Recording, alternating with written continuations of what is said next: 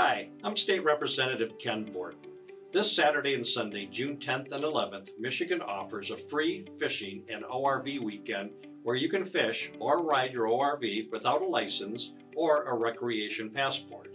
Michigan has an abundance of natural resources and offers outstanding rivers and lakes for fishing and over 4,000 miles of ORV trails. Our state has some of the best fishing out there, so come visit one of Michigan's beautiful rivers and lakes, or if you're feeling adventurous, take a ride on one of the many ORV trails. Whether you're with family and friends or even by yourself, it's a great way to spend the weekend.